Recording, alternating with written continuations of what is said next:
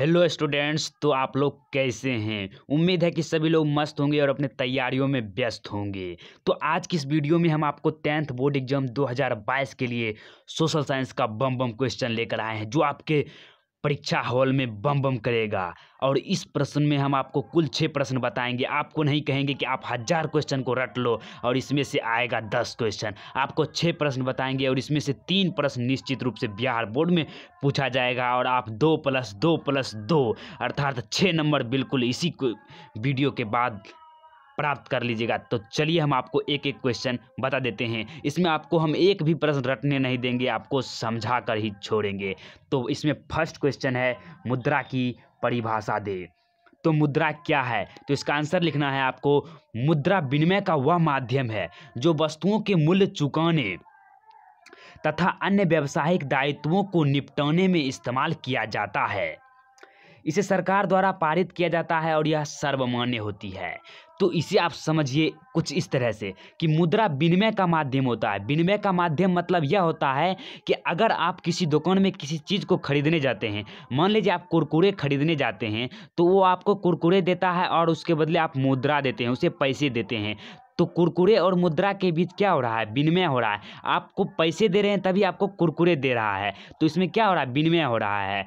तो और जो है वस्तु का ये मूल्य चुकाने में, आप कुरकुरे का मूल्य चुकाने के लिए वह मुद्रा दे रहे हैं और व्यवसायों में जो है दायित्व को निपटाने के लिए इसका इस्तेमाल किया जाता है और यह सरकार द्वारा जो है ना पारित किया होता है, लागू किया होता है और यह जो है सर्वमान्य होता है अर्थात सभी इसे मानते हैं कि यह रुपया है और यह सभी जगह मान्य है। दूसरा प्रश्न है, वस्तु विनिमय क्या है? जो वस्तु विनिमय है, जो आपको विनिमय का मतलब समझा है इसमें लगा दिया है वस्तु विनिमय। तो इसका आंसर होगा, जब किसी वस्तु या सेवा का विनिमय, अर्थात आदान प्रदान, देखिए, वस्तु विनिमय का साफ़ मतलब समझिए अदला बदली, जो है, जब किसी वस्तु या सेवा का विनिमय किसी अन्य वस्तु या सेवा के साथ प्रत्यक्ष रूप से किया जाता है, तब इसे वस्तु विनिमय कहते हैं। अर्थात आप किसी वस्तु के बदले दूसरा वस्तु लेते हैं। अर्थात आपको मक्का चाहिए। आप चाहते हैं कि हम अपने चावल को दूसरे व्यक्ति को दे दे और वह व्यक्ति अपना मक्का हमको दे। तो इसमें चावल और मक्का के बीच क्या हो गया? विनिमय हो गया। तो ये वस्तु वस्तु के बीच हुआ विनिमय तो यह वस्तु विनिमय कहलाता है और है। इसके अंतर्गत वस्तु की प्रत्यक्ष रूप से जो है ना अदला बदली होती है। उदाहरण के लिए, जब किसान गेहूँ देकर जुलाहों से कपड़ा लेता है, तब उसे वस्तु विनिमय कहते हैं। कपड़ा के बदले वह कुछ भी ले ले, दही ले, कुछ भी ले, आपको वह कहना है वस्तु विनिमय है। तो चलिए अगले प्रश्न की ओर चलते हैं।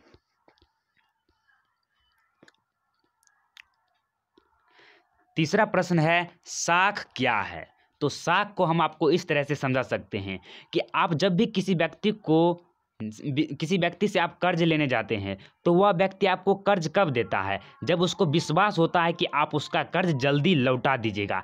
जो विश्वास भरोसा होता है ना आप पर, वही उसी का नाम यहाँ पर साख दे दिया गया है। तो इसका आपको आंसर लिखना है साख का अर्थ होता है विश्वास या भरोसा।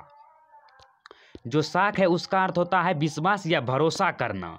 परंतु साख शब्द का व्यापक अर्थ, अर्थात स्टैंडर्ड जो फॉर्म है, जब हम किसी व्यक्ति या संस्था की साख का उल्लेख करते हैं, साख को परिभाषित करते हैं, तब इससे इसकी ईमानदारी तथा ऋण लौटाने की क्षमता का बोध होता है। जिस व्यक्ति की व्यक्ति को आसानी से ऋण या उधार मिल जाता है। हम कहते हैं कि उसकी साख अच्छी है, अर्थात उस पर ज़्यादा विश्वास किया जा सकता है, क्योंकि वह ईमानदार है और ऋण जल्दी लौटा देता है। तो चलिए नेक्स्ट प्रश्न की ओर हम चलते हैं। चार नंबर का क्वेश्चन है, क्रेडिट कार्ड क्या है? जो आजकल आधुनिक युग में जो है ना, क्रेडिट कार्ड का इतना प्रचलन बढ़ गया है कि आप जहाँ जाइए, मॉल में जाइए, शॉपिंग करने जाइए, वहाँ क्रेडिट कार्ड निकालिए और आसानी से पे करके निकल जाइए। तो इसका भी आपको आंसर कुछ इस तरह से लिखना है। क्रेडिट कार्ड भी प्लास्टिक मुद्रा का ही एक रूप है। जो क्रेडिट कार्ड होता है, वह प्लास्टिक का ही बना होता है, लेकिन वह मुद्रा का कार्य करता है, इसीलिए वह प्लास्टिक मुद्रा का एक रूप है।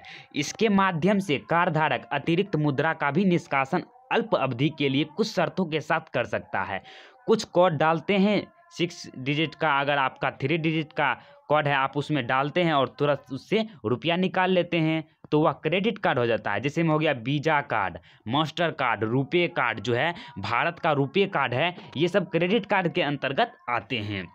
तो नेक्स्ट प्रश्न है, वस्तु विनिमय प्रणाली की सबसे बड़ी समस्या क्या थी? जो वस्तु विनिमय प्रणाली थी उसका सबसे बड़ा दोष क्या था? जिस कारण से इसको छोड़ना पड़ा।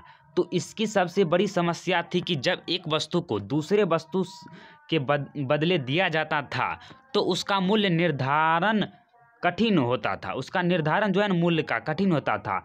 आवश्यकता का दोहरा संयोग भी एक एक बड़ी समस्या थी। कहने का मतलब है कि जब ये वस्तु विनिमय प्रणाली में, देखिए, कठिनाई कैसे होता था? अगर हम आपको गेहूँ दे रहे हैं और उसके बदले आप हमको मक्का दे रहे हैं, एक के जी हम आपको गेहूँ दिया आपने हमको एक के जी मक्का दिया तो घाटा हुआ हमको कि नहीं हुआ? क्योंकि गेहूँ का भाव अलग है और मक्का का भाव अलग है।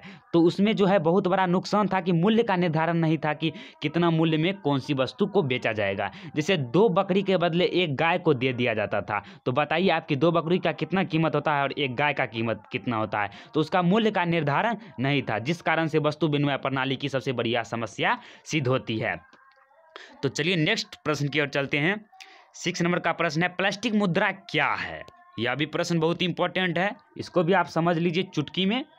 तो यह मुद्रा का आधुनिक, आधुनिकतम रूप है अर्थात यह मुद्रा का आधुनिक रूप है, जिसके माध्यम से महानगरों, अर्थात शहरों में खरीदारी की जाती है, अथवा एटीएम से पैसे की निकासी की जाती है। इसका सबसे बड़ा लाभ है कि ढेर सारी कागज़ी मुद्रा ढोने की ज़रूरत नहीं पड़ती। ज़रूरत के हिसाब से इसका प्रयोग प्रयोग कर भुगतान किया जा सकता है एवं वस्तुओं एवं वस्तुओं का क्रय किया जा सकता है।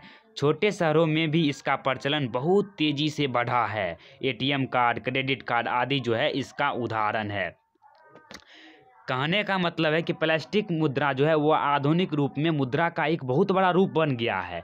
महानगरों में चाहिए आप किसी भी चीज़ का, वस्तु का व्यापार करते हैं, खरीदारी करते हैं तो आप प्लास्टिक मुद्रा को डालते हैं और तुरंत पे करके निकल जाते हैं। पैसे को आसानी से निकाल लेते हैं। और इसकी जो है ना, ये देखिए, प्लास्टिक मुद्रा आने से क्या हुआ कि आपको जो कागज़ी मुद्रा था उसको ढोने की आवश्यकता नहीं पड़ा। आपको उस कार्ड की मदद से आप आसानी से किसी जगह पे कर सकते हैं।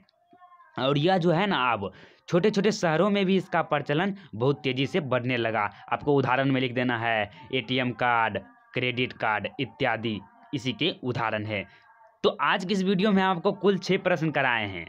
आशा है कि आपको ये सभी प्रश्न बहुत ही अच्छे तरीके से समझ आ गए होंगे। अगर चाहते हैं कि आपको इसी तरह का वीडियो और भी मिलता रहे तो आप इस चैनल को सब्सक्राइब कर ले। तो मिलते हैं अगली वीडियो में, तब तक के लिए जय हिंद, जय भारत, धन्यवाद।